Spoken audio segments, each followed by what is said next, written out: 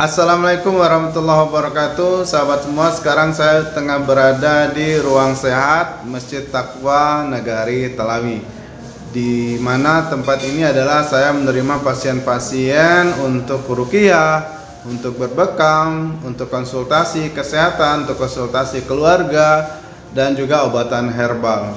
Alhamdulillah sahabat, Ruang Sehat Masjid Takwa Nagari Talawi memang kita dirikan atau kita bentuk untuk membantu masyarakat dalam eh, pengobatan-pengobatan secara tibun nabawi. Tidak itu saja sahabat, ini juga membantu memurnikan akidah masyarakat. Eh, zaman sekarang sudah sangat maju, zaman di tahun 2020, tetapi masyarakat tetap saja melakukan pengobatan-pengobatan dengan perdukunan, kesyirikan, lalu untuk mengusir gangguan-gangguan jin mereka pergi ke perdukunan. Bahkan sahabat orang-orang yang pergi ke dukun ini tidak hanya orang-orang kampung yang tidak sekolah atau tidak punya pengetahuan ilmu pengetahuan tetapi malah justru pengobatan-pengobatan dengan cara perdukunan dengan jin itu dilakukan oleh orang-orang cerdas. Baik itu dari kalangan PNS dari kalangan profesional bahkan ada dari kalangan dosen. Subhanallah luar biasa sahabat. Ini Eh, benar-benar semacam uh, pengetahuan yang terbelakang yang salah secara struktur atau sistematis yang membuat masyarakat menjadi latah bahwa ketika ada yang sakit ada mau membantu seseorang yang terkena gangguan jin langsung saja latah pikiran mereka berkata bahwa perdukunan adalah salah satu solusi terbaik. Nah, bahkan sahabat di zaman sekarang juga masyarakat walaupun dengan pengetahuan yang tinggi, ilmu pengetahuan yang tinggi, sekolah yang tinggi, tapi mereka masih bingung bertanya mana yang dukun, mana yang ustadz pengobatan secara tibun nabawi atau yang diajarkan dan disunahkan oleh Rasulullah SAW.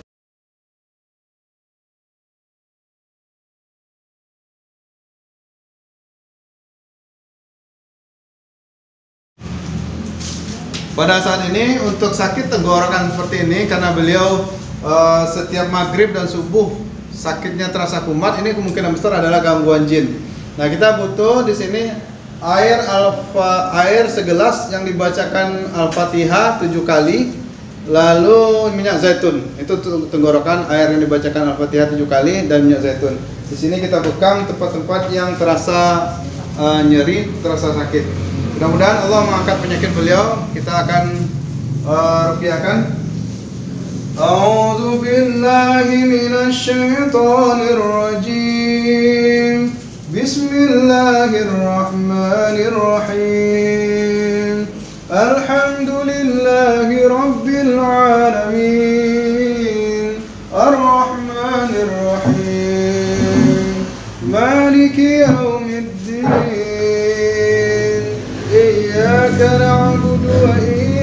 نستعين اهدنا الصراط المستقيم صراط الذين أنعمت عليهم غير المغضوب عليهم ولا الضالين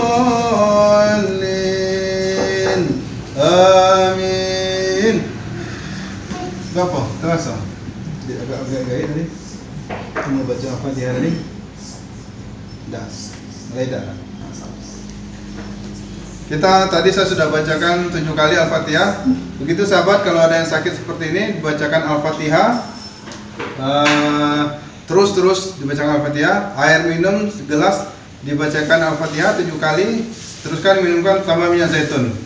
Tambah batu sauda juga bagus. Uh, air jahe, air kelapa muda ini bagus nih uh, untuk penyembuhan.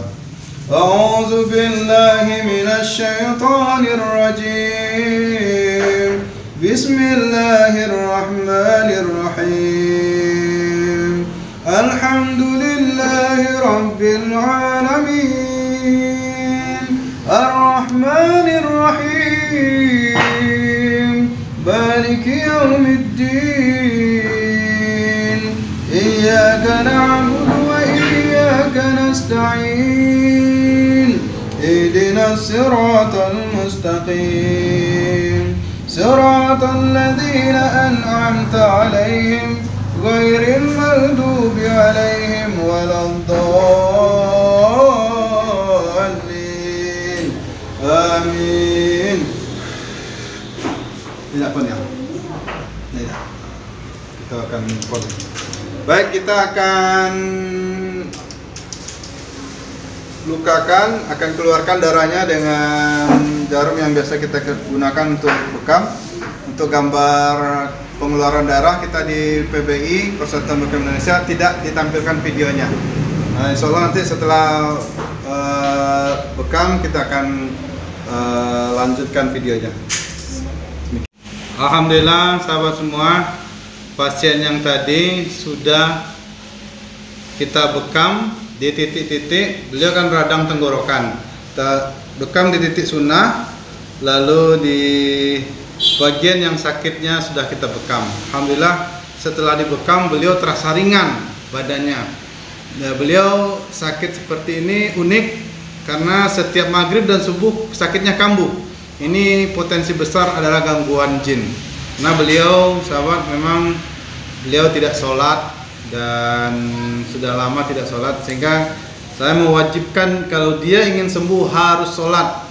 Sholat adalah pagar bagi dirinya agar jangan mendapat gangguan jin agar jangan mempan diganggu oleh jin. Kalau orang tidak sholat akan diganggu oleh jin dan dilarang pergi ke dukun. Saya saya perintahkan dia jangan sampai pergi ke dukun lagi agar dia sembuh. Nah ini janji yang dia sudah ikrarkan sholat dan tidak ke dukun. Insya Allah sahabat dengan uh, akhirnya beliau beli uh, sari kurma dan minyak zaitun. Insya Allah ini akan menyembuhkan peradangannya. Dan yang paling penting adalah air putih yang dibacakan Al-Fatihah sebanyak tujuh kali. Ini wajib dia lakukan uh, pagi hari sebelum makan dan siang juga malam tiga kali sehari kalau bisa sesering mungkin. Kalau bisa air galon yang besar itu dibacakan al-fatihah tujuh kali itu diminumkan terus. Insya Allah sahabat itu jadi sembuh dan Alhamdulillah terasa kata beliau pasien saya ini setelah dibekam dan dirukiah beliau terasa lebih ringan. Alhamdulillah badannya terasa lebih segar dan ia berjanji akan melaksanakan sholat dan ia berjanji tidak akan pergi ke dukun lagi. Dan itulah sahabat eh, berbagi ilmu kita pada saat ini pasien yang radang tenggorokan sakit sudah lama tidak bisa sembuh walaupun beliau pergi ke dokter walaupun beliau pergi ke dukun dan beliau susah tidur.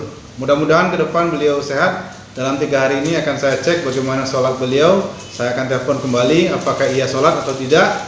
Lalu apakah dia membacakan Al-Fatihah kepada air minumnya atau tidak. Lalu apakah dia mengurangi atau menghentikan makanan-makanan yang menyebabkan penyakit gula, minyak makanan-makanan uh, berpenyedap, berpengawet dan yang paling penting adalah ia merukiahkan dirinya sendiri. Semoga bermanfaat. Assalamualaikum warahmatullahi wabarakatuh